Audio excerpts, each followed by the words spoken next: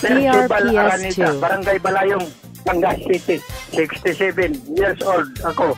Yung dati, hindi ko pa naalaman ito, nakagamit na ako ng insulin. Nagpa-check up ako sa doktor, nabigyan ako ng resita para sa insulin.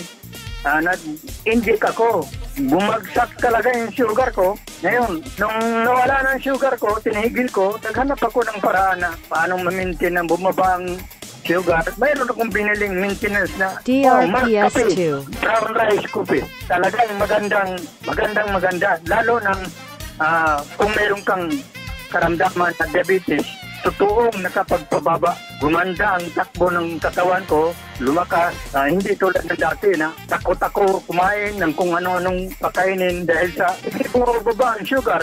Pero ngayong nandito na yung oh, Mark Kape, brown rice coffee at saka Mark uh, capsule plus eh, tiwala na ako kahit DRPS2. anong bilhin ng kapatid ko na pwedeng kainin, pwede na rin akong kumain. Pero dati, ayaw kong kumain pag hindi yung gardenia lang na yung fiber talaga. Pero ngayon, pwede na kahit ano, kahit munay, kakain. Wala na problema sa akin. Tanggal yung problema ko dahil dito sa produkto ng Mark Cafe Brown Rice at sa Mark Capsule Plus C. Ito lang ang nakatulong sa akin ang produkto ng Mark Capsule at Mark Cafe Brown Rice. Walang mintos. Araw-araw, hindi ako tumitigil niyan. DRPS2. Yung rice niya, R-I-C-E. Palagi ko siya sabi yan, kahit doon sa mga kamag-anak namin, pinitix ko, ganitong spelling ang bilhin ninyo. Brown rice. R-I-C-E. Yan, totoo. Eh, kasi sabi ng kapatid ko, baka meron itong ibang klase na piki. Sabi ko, meron. Hindi kayo itong spelling.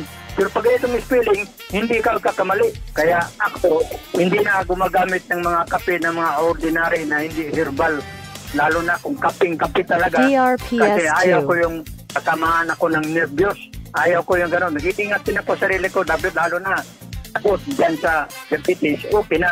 Walang problema. Hindi na ako gumagamit ng ibang kape, kundi itong Mark Cafe Brown Rice Coffee. Na-taste ko na talaga, nasubukan ko na at maganda ang resulta. Ang masasabi ko na gumamit din sa itong produktong Mark Capsule at Mark Cafe Brown Rice kasi mahusay talaga ito sa lahat ng mga karamdaman sa katawan DRPS2. nakapagpapalusog talaga ito. Totoong tunay na herbal. Yan ang sabi ko. Wala nang ibang akong pinaniwala herbal kundi ito.